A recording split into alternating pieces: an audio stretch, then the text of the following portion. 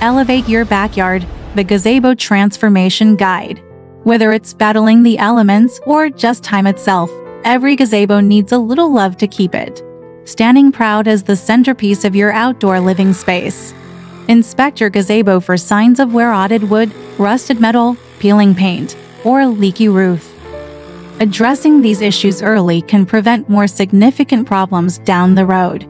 For wooden gazebos, look for splinters or soft spots that indicate rot.